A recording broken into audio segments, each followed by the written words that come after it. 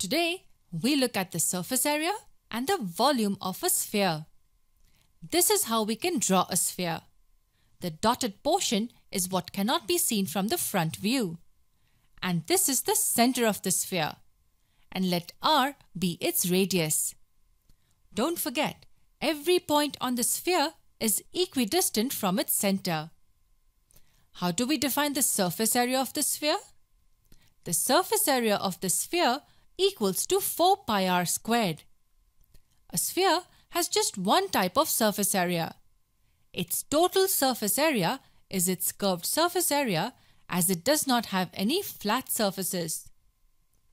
And the volume of the sphere is given as 4 by 3 pi r cubed.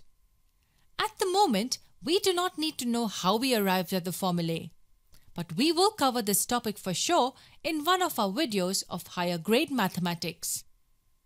If we know the formulae for a sphere, we can easily derive the formulae for a hemisphere too. And what is a hemisphere? A hemisphere is half a sphere.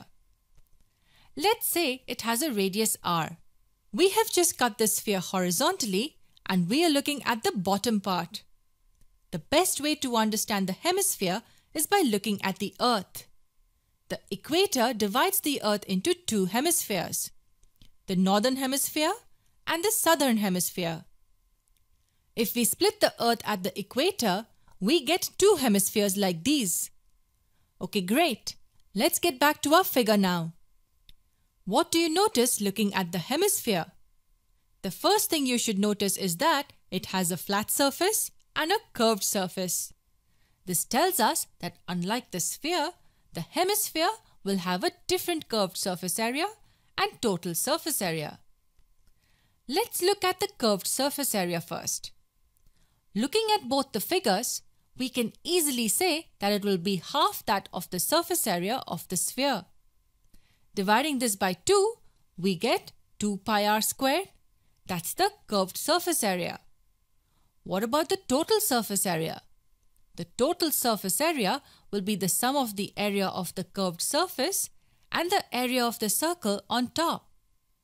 We have figured the area of the curved surface to be 2 pi r squared. The area of the circle on top will be pi r squared.